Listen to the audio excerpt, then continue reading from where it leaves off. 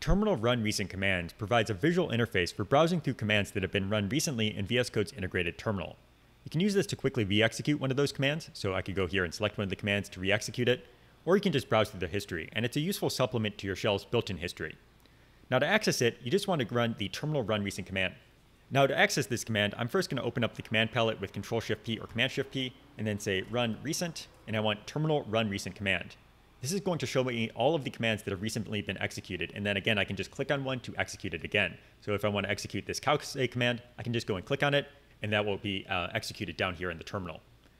Notice how if I run another command here, so I'll just run something simple like ls, that will now start being picked up by the run recent command. So now I have ls at the top of the list here in my list of recent commands. Probably not too helpful to uh, be able to re-execute that, but it is providing a nice view of all the commands that I've run recently. Now this UI does provide a bit of extra functionality as well. So I could just start typing if I want to filter down the list. So if I want everything that has cow somewhere in it, I can just say cow, and now I have a, list of just the uh, commands that have cow somewhere in the text by that uh, it's being filtered down now by that filter text. I can also go and insert the command without actually executing it. So let's say I wanted to run the cowsay command here, but I actually want to modify it before executing it. Instead of clicking on it directly, I'm going to hold Option or Alt and then click on it. So now I've inserted the text here and it's in, been inserted but not executed yet. I can go back and say, hello, fellow kids.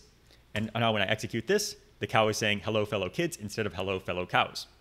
One final thing I'll note here is that you can actually pin commands as well if you find that you want to re-execute them quite often.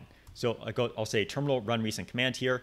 And let's say that I really want the cowsay command to be pinned because I'm running it quite often. I can just go and click the little pin icon next to it and now it's going to show up at the top of the list whenever I have commands. So I can just quickly go in and select that right away, and now I have my cowsay command being run very easily from that run recent command UI.